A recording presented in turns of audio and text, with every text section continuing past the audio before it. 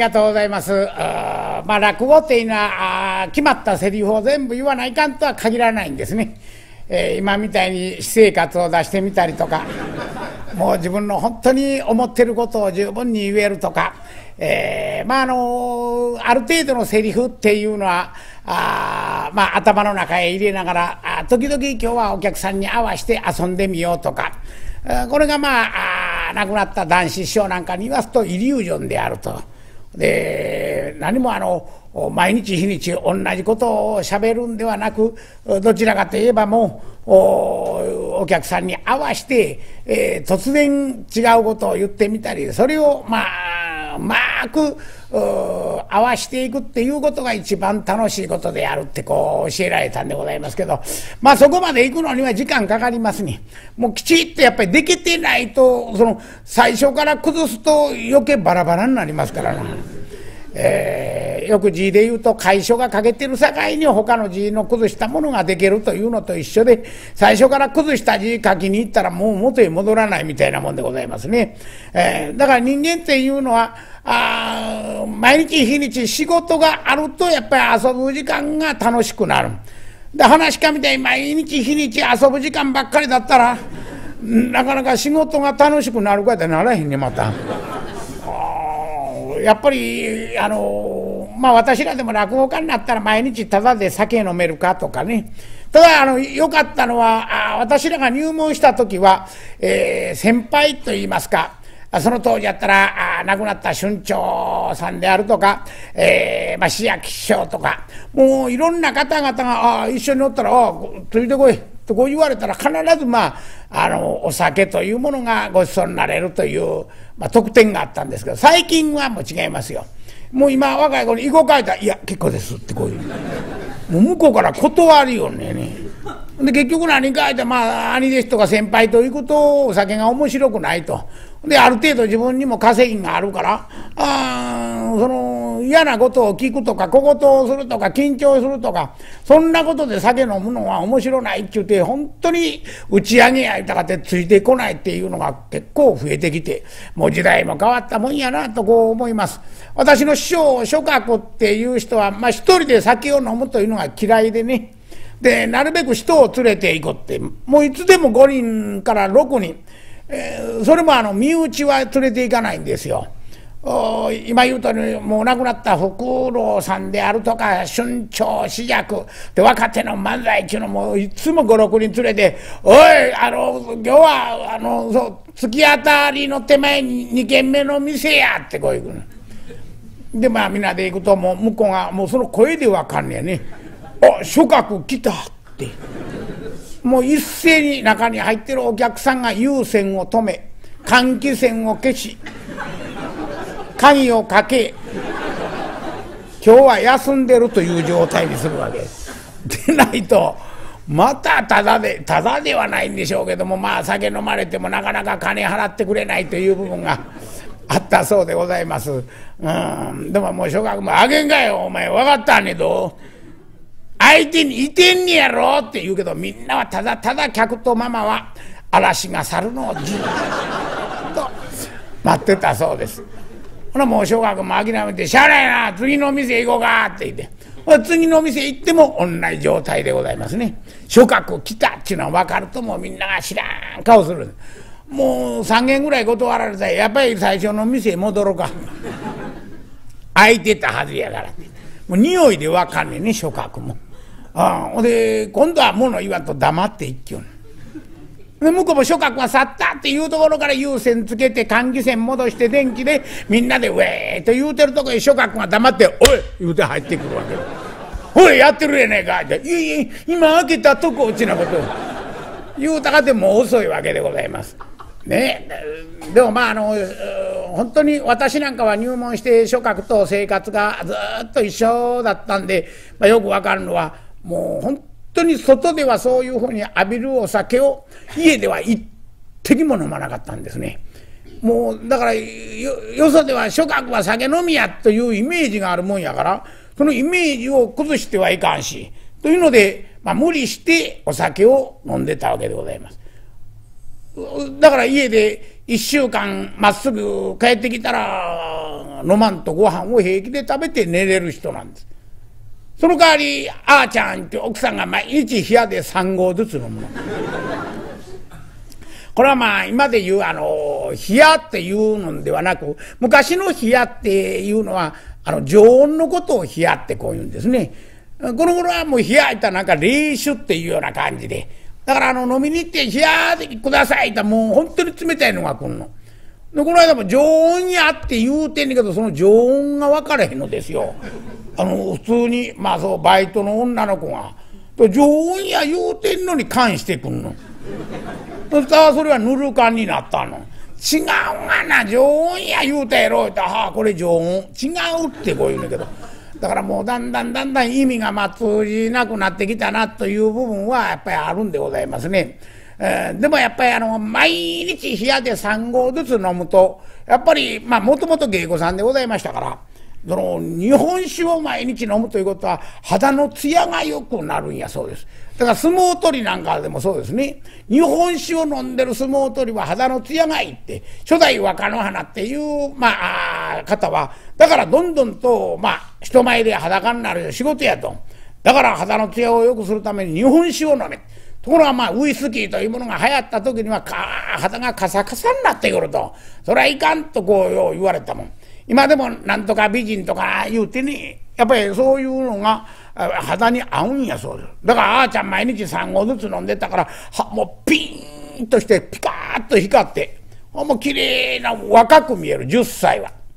だからまあ今日来てはる方々もできればまあこれから毎日たとえまあ1合ずつでも飲めや。あもう手遅れかもしれませんが。ねえもうでもお酒というのは私らでもあなんか仕事の後はお酒を飲まないとなんかけじめがつかないというようなあ部分があったりするわけでございますけども。お酒にまつわるまあ川柳とかあまたどどいというのはたくさんあるもんで。酒飲みはやっこ豆腐にさも似たり。初め四角であとはぐずぐずとか。あ西田東百という方がお作りになった川柳で「上官やへいへいへい」と逆らわず。ほらようできた川柳やそうでございます。上官や今でいう屋台の一杯飲み屋。まあこういうところへお見えになるお客さんというのはよそで飲んでまあ飲み足らんというので、えー、お寄りになりますんですでに下地ができております。ですからどんどんどんどんあお酒を飲むかいたらそんなに召し上がりません。ほならあてはつまみの方をどんどん食べるかったらこれも食べません。ところがまあ口は滑らかになってますからどんどんどんどん喋りよる。これにいちいち相手になってたらまあ周りのお客さんとか回転率も悪くなる。ですからもう何を言われてもあいやもうその通りでもうへえ上官やへいへいへいと逆らうというなかなかようできた川柳やそうでございますが。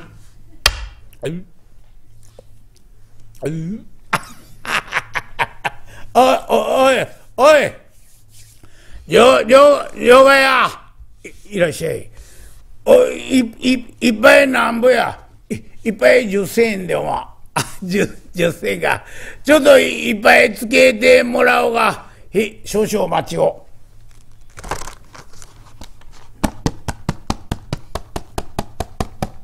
なあおいじょじょがや。え、ここに大きな字で上監督を書いてあるが、な、なんで上、上官やん。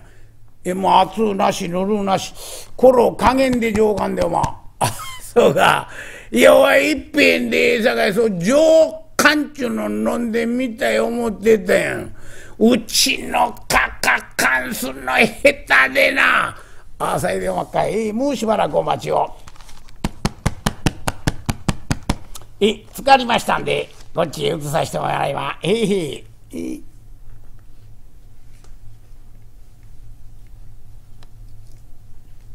ひ、どうぞ。お、お、お、おぎん。熱なし、ぬるなし、ころ加減で上、上、上眼が。よ、よ、言われるわ。うん。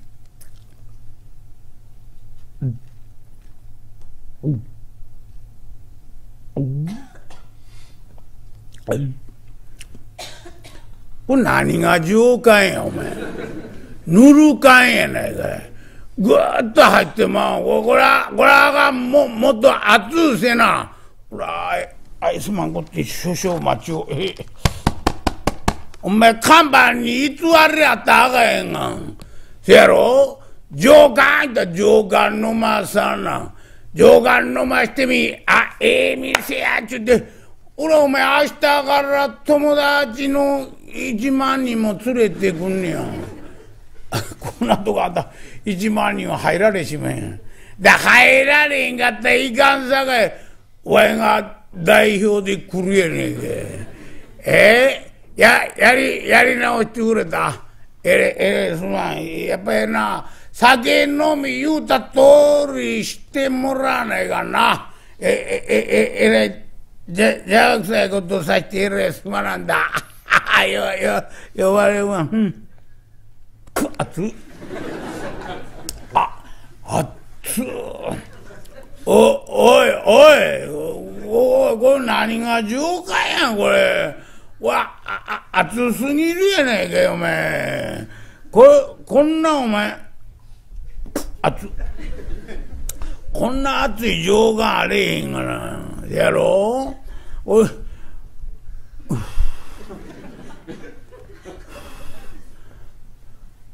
わお前とこ甘酒飲みに来たんやれへんで。どこどの世界酒吹いて飲まんならんてお前。あつ。あここらこらこらあかんわ。おおおいおい。ちょちょちょっとすまんけどそこに置いてる冷や酒上から足して。そんなことしたあの感情がややこしになりまるで。何がややこしになんねんお前。冷めるまで待ってられへんやねんい。や後でちゃんと感情するよってちょっと上上から足してくれ。ぐっと上からそう。もももぐっと入れ入れ。ままだ入るやないかい。ぐっといけよやっとああそれそれでこれ以上入れたこぼれるわ。えー、これこれでののの飲んでみる。で飲んでみてぬるかったまた勘してもらおう。うん。うん。うん。えー、ここれで上官や。けねえな。これだけ飲んで10銭は安い。なおなこと言いながら今あんた火渡しましたんで、いや、後で勘定していいってこう言うてるやろ。な。お、おい、こ、ここに豆こぼれてあるけど、ここぼれた豆はなんぼ？あ豆がおりようでかいな。それやったら何もこぼれたやなしにこっちにええやつがまええのいらねん。こぼれた豆が欲しいねん。こぼれた豆はなんぼ？なんぼってあったらこぼれた豆お金いただくわけに参りまいので。お金いただくわけに参らんちゅうとただでんがな。たただ た食べたちょっとま豆よよ呼ばれるわ。うんうん、えええ味してるわ。うん。うん。うん。もっとこぼしたろ。あ、もしもし。だむっちゃしなんな入ってるもんこぼさえても。いやじょよよよよでああ後で感情してはい。これは何？え？これは何？あこれあのイワシの殻まぶしでイワシとこうおからをこうまぶしてございますので下に黄色いもん引いたな。あ、それはあの別におからだけをあの味付けしたもん下に引いておりま。なお、おからだけ下に引いてあるもんだけはなんぼ なんぼって、イワシのからまぶしのつきもんでね。で、下のおからだけっちゅうたら、ただでね。た、ただ、お、お、おからだけこう。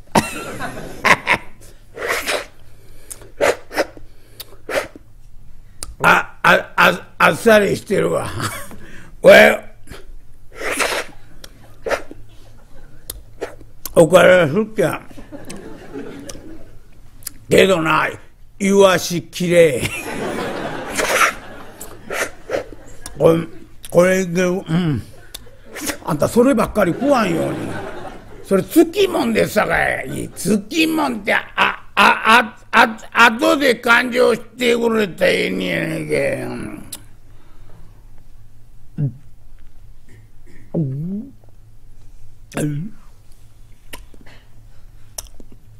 あこれは何？どれ？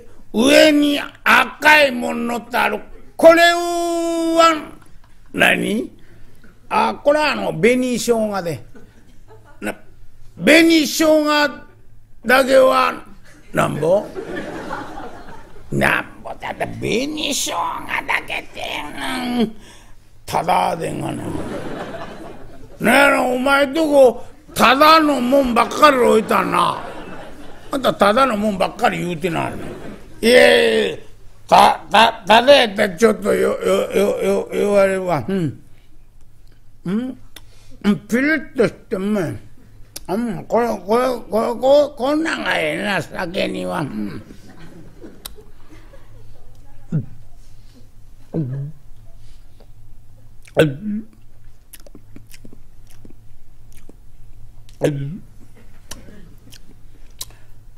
これは何？もうあんたがこれは何言うたらずっとしまんな。どれ？わ暗い大きいの。ああこれはあのニシンのつけ焼きだよまあ。えー、ニシンのつけ焼き？これはお何のつきもんいやそれはつきもんと違いますよ。それはそのまま売ってまんねや。それ5,000円でね。金のこと言うね。分かった。呼ばれるん。五寸あるやねんこんなもう細こに切っておきゃ食いよいん。えー、ねまあ切り目はいやまあ嫌いでもええけど呼ば呼ばれるん。ニシンのつけ焼きやで。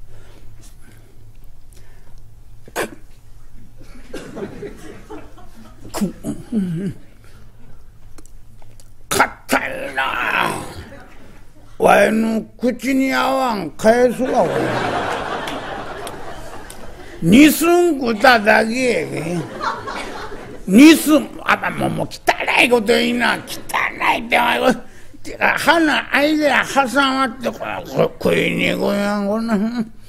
こんな打ったらあかんでこれ。こんなもんお前詐欺みたいなもんや。皆こんなもん食いよんの？全部？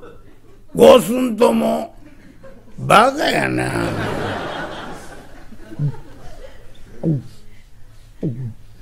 えー、これは何？どどれ？こここれやん。ああこれでかいな。いやこれはあの鷹の爪。え？鷹の爪だ。鷹の爪。そら飛んでんの。違いまんが、とんがらしのこった。へえ、とんがらしのこと、鷹の爪っちゅうの。はしらなんだな。なんぼ。いや、これはもう店のつきもんで、ただ。これ、た、ただ。ど、ど、どれも、ええ、どれでも結構だ。ええ、上から大きいのが順番にしよって小さに、きれいに並んだな。まあええ一番大きいのこれ上一番大きいのこれでもええかどうぞ好きなように。あそうなこここれいただくわ。ええー、鷹の爪やって。こんなここあっから。あこうかろうてはおから食わなしゃあない。ああんたうまいこと言っておから食いなんな。あああかうん。えー。大喜にごたななななんぼや勘定して。せやけ感情がしにくいって言いましたやろた初めに言ったらぬるいてぐーっと飲んであと熱いちゅうで冷やたしましたわな。豆いかれておから食われてニシン食いさしやわ。それでな25銭もらいまよがななんぼ？25銭。25銭。や安い安いな。こんだけ飲んで食べて25銭。気に気に入った。わいな。毎晩うち帰る時お前の店の前通ってうち帰んねん。あさよか。これから帰るしな毎晩寄ってあるよってな。ええとどこ行きに。毎晩寄ってあるよってちょっと顔覚えててや。ええ顔覚えてくれた。え覚えました。ほな貸しといて。ようなアホなこと言いなんな。貸しといても何もあんた今日初めてだせ。初めてでもいいやねお前そんな細かいこと言うたらええ人生送られへんで。な？あ少々のことでもいつでもよろしいって言ったらお前倍にして払うたろうと思って。いえ金は持ってるれへんな。うん五円札式あるなな。おいこれこれちょっと釣りもらおうか。こらえらいすまんこっていや口開けでまだどなたもお客さんがなかったんで細かいもんがおまへんので。ほな貸しとかなしゃあないな。いちょっとちょっと待っとくなり向こうに出てる夜店出しの道具屋最前から見てたら何人かお客さんがあったみたいだ。え向こう行ってわてちょっとあのー、両替していきますので。おおいちょっとま待て。行くにあった俺俺が行こう俺いお前店番してけえな。後から客が来たら困らならへんねええ人間も隠れもするかい25銭ぐらいで。よし俺がちょっといでいでいで冷やかし方がいてくるさかい。おおいどどうや？いらっしゃい。おぎょぎょぎょうさん品物並べたらええー、あうおね今ピカッと光ってるように見えたん。おこれこれこれがここれなんや。へこれこれこれピカッと今光ってるように見えたん。ああこれでか。へへいやこれはあの毛抜きでおま毛毛抜きで。いや顎のひげをこう抜きまので。そそんなことして言いたいことないが。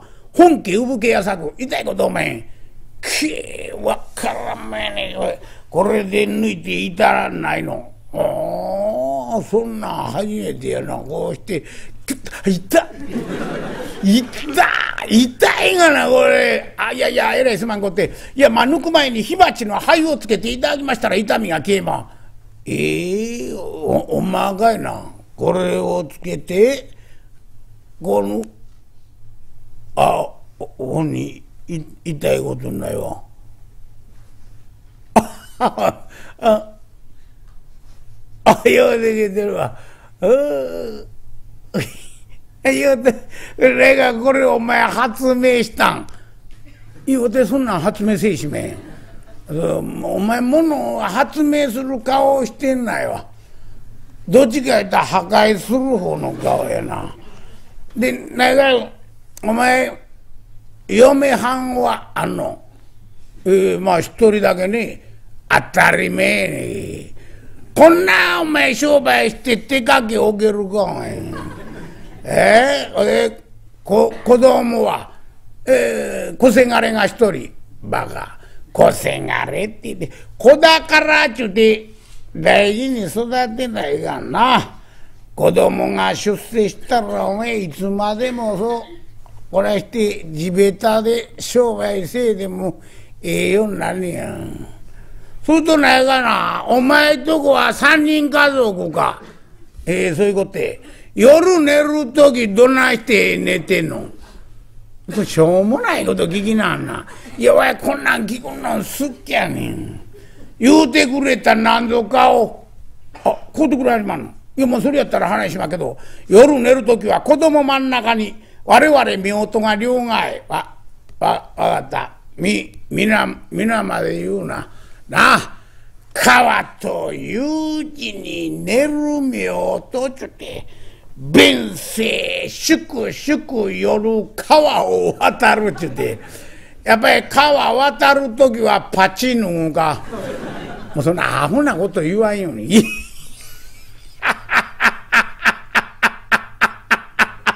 パッチ脱いどんねや。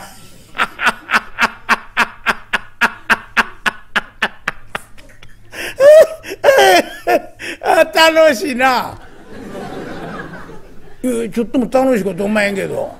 バカ、客が楽しいねえだ、そうそうって合わすよ、お前。でないと売れ、売れる品物でも売れんようなねえな。こっちが楽しいねえだ、そうそうってこういう、言う、言う、言うたらやっぱりなお客さんも何でもこうで帰らないかんってな多いんな。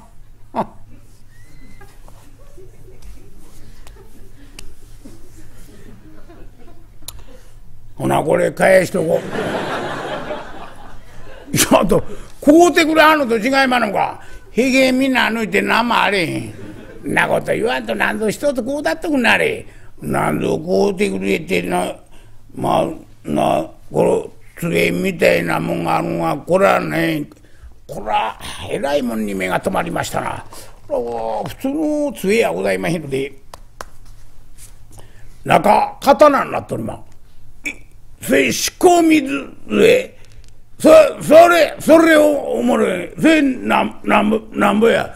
えー、まあよいからねついておりますが5円が一文も曲がりまへんので五五円二十五銭曲げてあんた決定な値切り用だな。なんだね。いや五円札持ってんねん。で最近場外屋でいっぱい飲んで。で25銭ってこう言うねんそうそうこれ見て五円札。向こうのあの飲み代の分だけちょっと曲げて。ああさようか。いいまあそういうこと言わしたらへい。よろしゅうございます。うん。ちょっと待っとくなるや。ひなお釣りと仕込みずえば大きに大きに。まままままた冷やがしに来るわさいなら。えー、め珍しいな仕込みずえ中刀かしかしねえの。こんなんもったんなんぞ切りたくなるな。おい場外や出てこい。サイレンわずかな銭貸すのかさんの手。プッ己これで叩きろ。アホなこと言わんように。うぜえうぜえ。ここへ25銭置いとくで。またお近いうちに。よっしゃ。とこの男。あそのまま家へ帰ったんですが。皆さん方でも覚えがある通り。子供の自分親からナイフ小刀買うてもらうと何度切りとってたまらん。ああよく柱傷つけたり机の角削って叱られたもんで。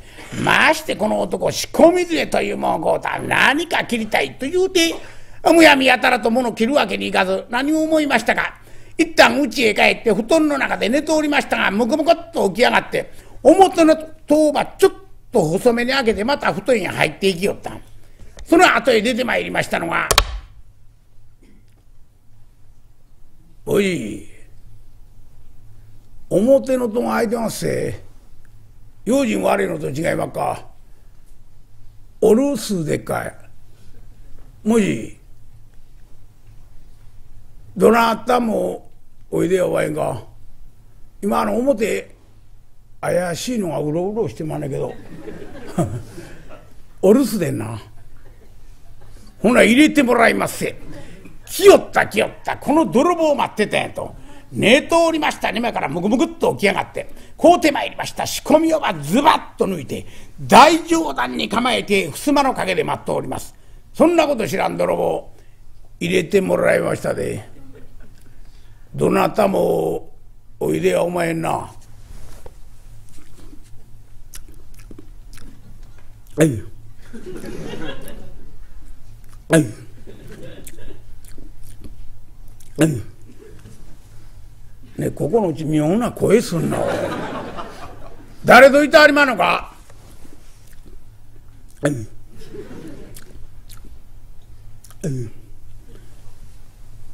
なんじゃいな。思わず泥棒顔出しちゃった。待ってましたとばかりにえい！腕はなかったんですが刀がよう切れたと見えまして首がズボーッ皮一枚残したまま。はっ！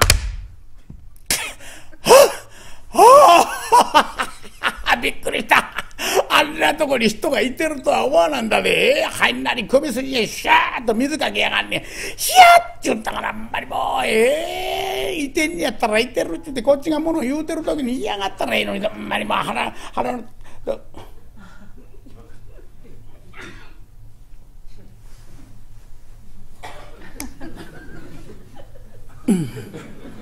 なんで勝手に首が動くねや。そういえばどうしようお前も裏投げ入って誰もおらんやろと思ったらおじやん昼寝して月間ねまああの時におじんの顔とわしの顔が会うた時だけびっくり家も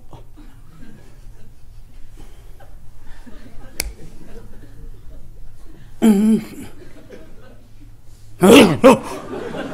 しもたわい首切られてんねや。表紙の悪いことに近所で火事があったと見えましてじゃんじゃんじゃんじゃんじゃんじゃんじゃんじゃんじゃんおらガッジャガッジャガッジャ皆が天でに提灯を前へガーッと突き出して火事や火事やと走っております。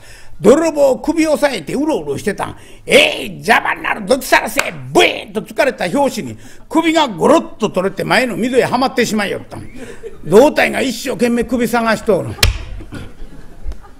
まあさヨーヨーのことで首をば探し当てまして懐へ入れたんですがそれでは向こう先が見えません仕方がないから懐から首取り出して前へぐーっと突き出すと首が「かっじゃかっじゃ」。